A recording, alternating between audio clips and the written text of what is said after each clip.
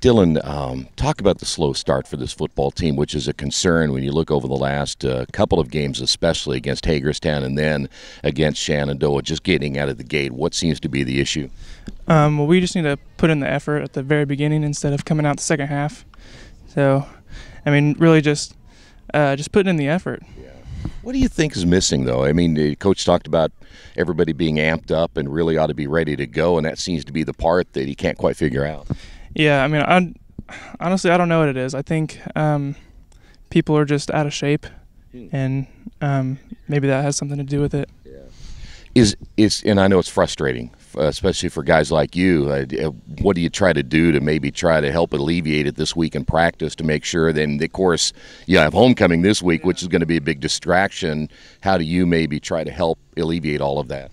Well, I just got to be try to be a leader, and all the captains, captains and seniors have to step up and you know try to motivate the team to, you know, actually push themselves to be to go as hard as they can every single play.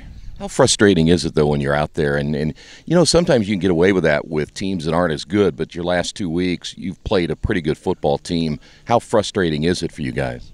Well, we know we can step up to the plate and you know we can we can handle handle them. So, um, you know, if we know we're just as good as them, it's really frustrating knowing that um, we're we're down really early. Yeah, and you got to change that whole game plan and everything. Then don't you I mean go to kind of plan B? Yeah, yeah. So we just have to, you know, put in the effort right at the very beginning. This week is going to be tough again. Your routine is messed up. You've got Labor Day, you've got homecoming, and I know that homecoming is a part of football, but it doesn't help from the focus standpoint. How do you get through this week and try to make sure you're ready to go on Friday? Because you're going to step right off that uh, homecoming parade, I guess, right into football, right? Yeah. Well, we have to, you know, we have to be resilient and you know try to get past all the distractions and just stick to our game and just do what we do. Winchester, I've seen them. You've seen them. I think they're better than an 0 3 record.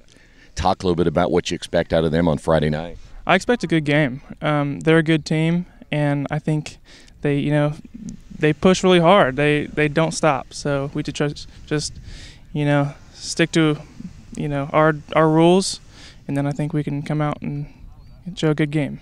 Before I let you go, you get them at home. That's the nice thing. At least you're going to be able to sleep in your own bed and all that they talk about for the Friday game. That's got to help being in front of your home fans. Oh yeah, you know we all love the the home atmosphere. You know we'd have the the stands all packed every single game. It's it's all it's awesome. And then the student section, you know, a huge part.